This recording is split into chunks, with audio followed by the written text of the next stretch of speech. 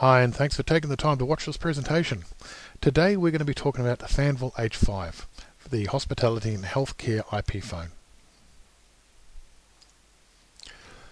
The Fanvil uh, H5 series has been basically designed for hospitality, um, the healthcare sector, and residential section, sectors. It is a fundamental basic replacement phone. It's um, so that end users can't set features and change things that will stop the phone working. Ideal for the hotels um, or just people who aren't technically minded. It's just a simple phone. It's very stylish and, con and contemporary in appearance. It's got excellent voice quality. It's got uh, a lot of functionality, which I want to touch on while I'm here. And it can integrate with a wide range of of uh, platforms, um, IPPX or cloud-based.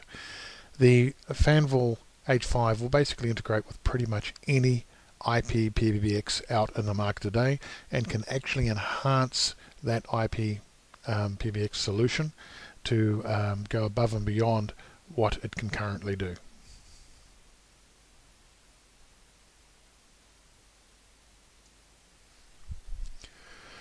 It has a single SIP uh, registration. It has six programmable keys. These keys can be used for such things as room service, housekeeping, um, uh, calling reception, accessing voicemail, setting wake-up calls, etc.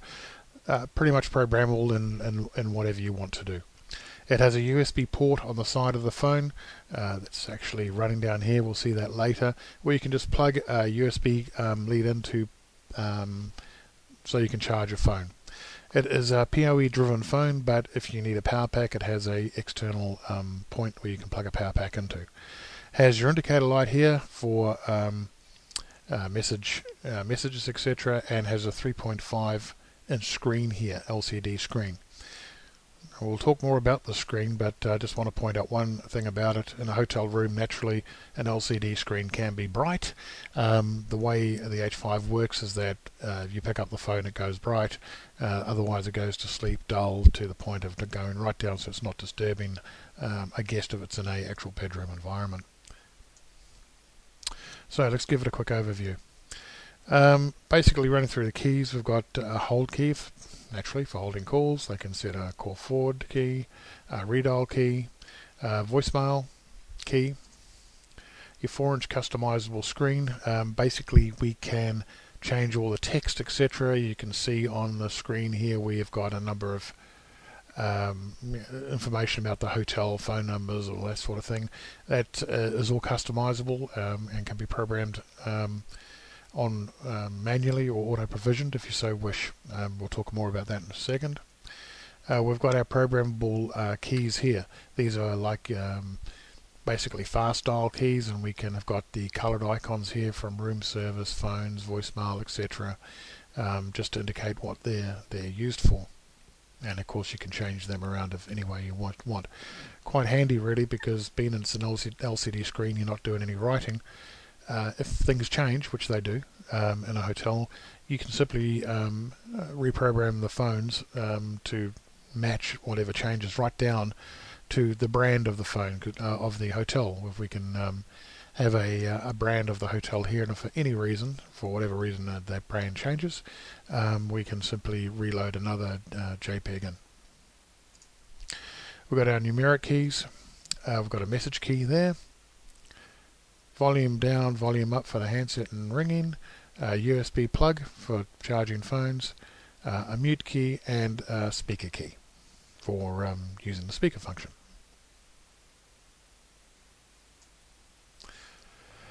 The customizable screens indicated uh, that this is um, an option. Um, it's all programmable via the um, via a browser if you so wish, but these phones also auto provision.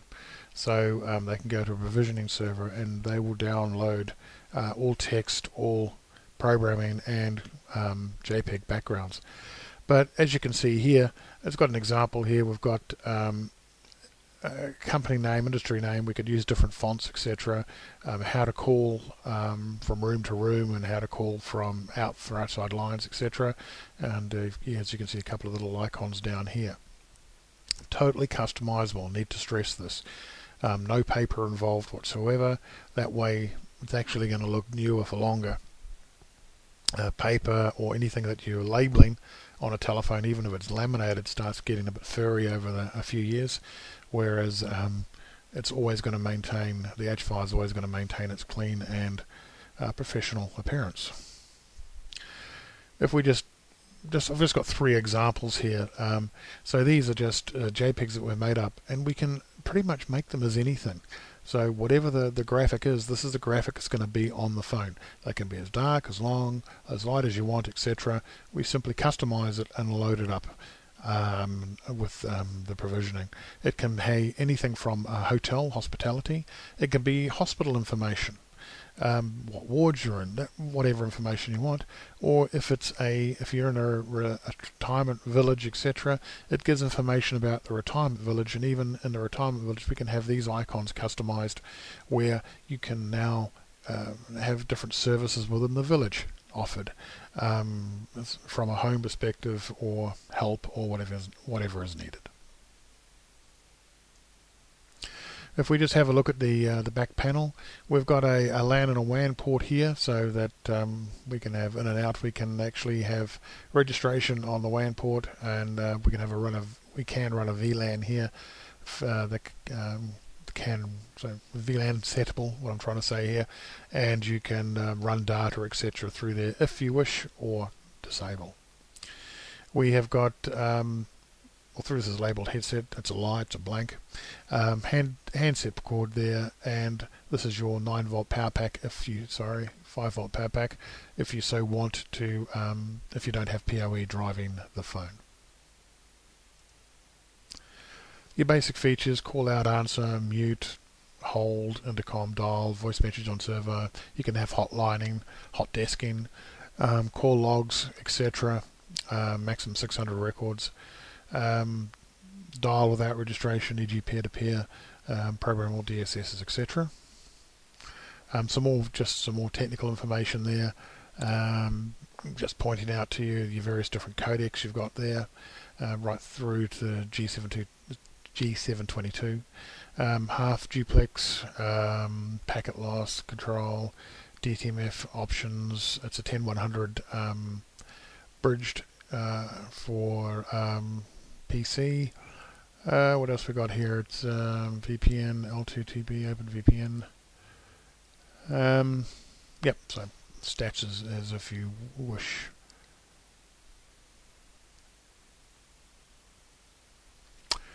Okay, so the hotspot. The one of the advantages of using a Fanvil in a um, whether it be a hospitality or a um, hospital or a village, etc., is that you have environments that you need to have multiple phones in a room. So the hotspot allows the um, a Fanvil phone, an H5 phone, to be set as a master phone, and then we can have multiple other phones registering to it, that master phone um, to work with the single SIP registration. E.g., we've got a phone number that's on the master phone. We can register the client phones to the master phone, and they can make outgoing calls, which will use that same SIP registration, and it will receive when incoming calls, all phones will ring, but you're only using one SIP registration. This is an important point because with a lot of systems in voice over IP, one SIP registration, one phone. Using a Fanvil you, solution, you simply have one registration, you can have multiple phones. So, let's just reiterate how it works. How the hotspot works is that we've got a cloud, etc., PoE switch. It works across the LAN. Okay, it's not a WAN solution, it's just across the LAN. So we've got, say, three phones in a room. We are using extension 202 as the master SIP registration. It's registered off to your IPPBX or cloud solution. And then we've got one, two other phones in the room. They are also extension 202. So what happens is on an incoming call, when the master phone rings, the other two phones will ring. Okay, if the uh, other either any of the phones make an outgoing calls, it will present. It will use the SIP registration, and it can make an outgoing call. One call per group, just like a, a, set of series extensions. So it's perfect for the hotel type environment where you might have one, two, three, ten phones in a room, and or perfect in um, just any situation in a, in a, village situation where you might have a, um, a hotel, uh, sorry, a phone in the kitchen area and a phone in the bedroom area. So two phones, but again, just one SIP registration. It can register to an IPPX, it can register to a cloud solution, it can register to an ITPS, ITSP, e.g. a SIP trunk provider. Doesn't matter, it's um, SIP, it'll register. So in a hotel environment, we might have uh, an a Fanvil H5 phone here um, in the, the dining area here. Uh, we also got a phone an H5 in the bedroom and a H2 in the bathroom. Incoming calls, all phones ring. Okay.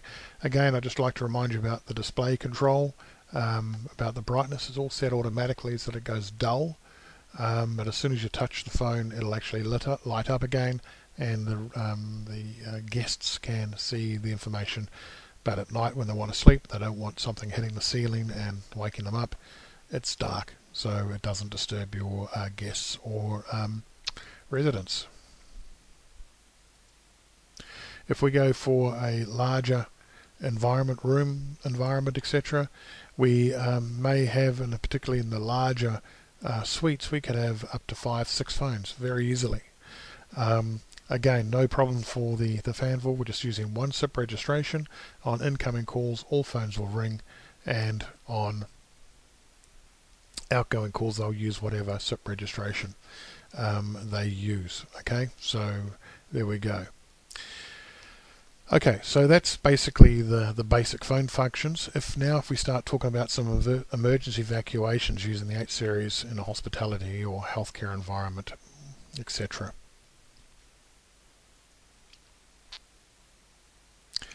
The H5 phones can basically add a huge amount of value to any existing IPPX solution that you have in your hotel currently, or if you are a reseller, that you are looking at providing as a solution. It will give an H5 Fanvil H5 phone solution will give you all the functionality that you require with the IPPX. Okay, but wait, there's more. We can actually start now. We can now page and make uh, emergency announcements through the H5 phones.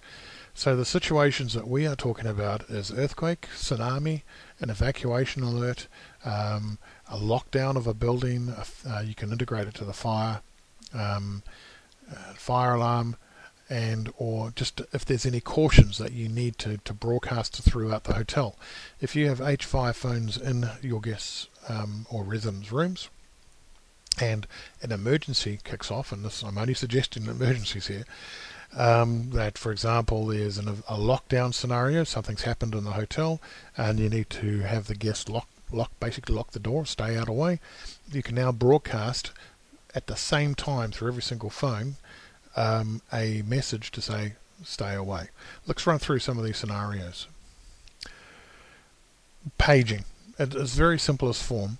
We can have um, all of the phones, whether they be office, the office phones uh, we're using um, through the hotel or um, or business or um, village environment, or the hotels. We can now page through all of the phones by simply having somebody pick up a phone and dialing a button or pushing a button and now we can page through all the phones. We can actually even do um, paging groups.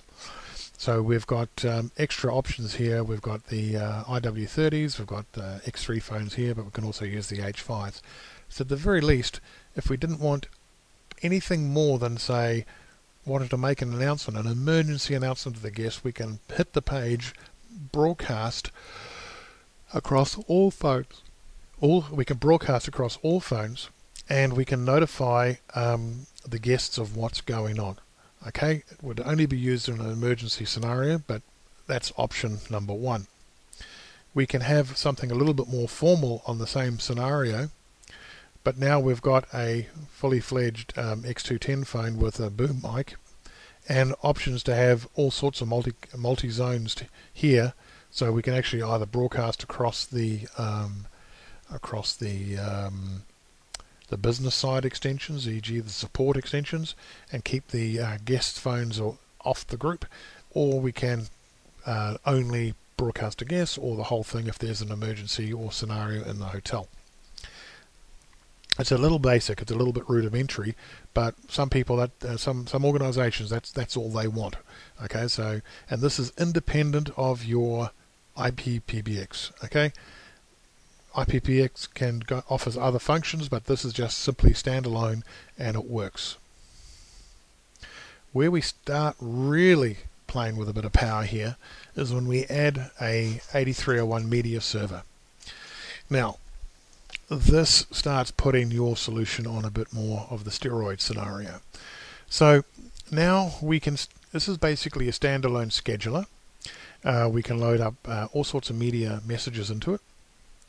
We can manage this um, media all the media on a 24 hour clock and it can play messages. Now from a health and safety perspective for the um, the hotel phones the office phones etc or the um, the loading zones or the, the back office zones or anything like that we can actually have reminders and and tones uh, shift shift tones if you so wish voice schedule reminding people that of breaks etc these are away from the guests or in the back office. It's playing messages. It could be in the loading zone uh, if you've got one that is reminding uh, people that when they're entering the road, loading zone to make sure they make eye contact with the drivers before they cross behind or in front so that everybody knows what's going on to avoid health and uh, yeah, accidents. It's health and safety. So we can do tones we can do bells, tones, or voice schedules on a 24 hour environment. That can be controlled by a local on site administrator and, and be sent set on months in advance, advance if you so wish. And basically, according to the clock, the uh, voice messages, bells, or tones will play as you so wish. We can have scheduled warning announcements. Again, these are on a 24 hour clock and what these are doing is giving information about warning uh, things that are happening. Again, I use the example of the uh, the warehouse, but it could be down the long corridors in the in the service basement between the kitchens and um, uh, room service, etc. People, they've got some, as you all know, there's big, so there can be big carts and trays. There'd be someone loaded up with trays and dishes or laundry or whatever, and they're going down the corridors, and it could be announcements, just PA speakers playing background music if so wish, and then every X amount of time it plays a message you're in a corridor, please don't run, please be aware of people, uh, large um, um, carts, etc., moving up and down. Again, it's health and safety, it's reminding staff of what to do. So these are the sort of applications you can use these for we can also set a lockdown alarm through the media. Now, what we do there is we basically dial a code. Okay, it can also be a, a, button or a, a key lock. Now, this is a lockdown alarm. Now, essentially, this is if there's an event at um, a village, a building, a business, um, or a, a, hospital, or a um, hotel that requires people to be safe. Okay, we all. I won't go into great detail. I'll let your imaginations run on this. Uh, we've seen things in the past happen on the news in large, um, some hotels and any area. I just don't want to go into the details of it all. But essentially, it's protection of the guests. As a staff member, it's not. There are times when you can't get around all your guests at once and you need to get a message immediately to the guests as much as possible to stay in their rooms, lock the doors, and don't come out. Okay, so what do you do? They pick up a, um, a uh, the phone, dial a code if you so wish, and then activate a um, an alarm. Okay, or you press a button, or you put a key in, turn a key, and a lockdown message will now automatically start playing through pretty much every phone that we choose in the environment, we'll call it. If it's in a hotel environment, it'll play through the H5 speakers. If it's um, using some PA speakers where the background music is playing, etc., or it's around the hotel, it'll start blaring this message through the speakers. If you've got business phones, uh, Fanvil X series phones in in the um, in the business side of the area, it'll start putting the lockdown alarm through that. Okay, it's customized automated message. Okay, it can be a lockdown, giving the lockdown um, procedure if it's just a pure business. If it's guest, you need to be telling them that it's a lockdown. You can use alert tones if you so wish and voice at the same time. You can even record in multi-language so that it is actually explaining to people what's going on. The reason this is such a good idea is that it just broadcasts immediately. It can be customized to the use of um, your business and environment and you can tell your guests, your staff, your residents, whatever you've got, locked down. If they're not in your rooms, it'll be broadcasting through the PA um, system. I'm not saying you, uh, people might say this is intrusive. This is an emergency situation we're talking about. Okay, and it's using existing equipment that we're talking about. Anything additional to your phones here is a media server. Okay, and we can talk about more about that. So contact us and have a talk about that. Okay, so that's that scenario. Next scenario is your evacuation alarm. Now, this could be basically, again, another triggered uh, event. But this one, instead of being locked down, we actually want to get them out of the building. Okay, uh, some places they use fire alarms and all that kind of thing.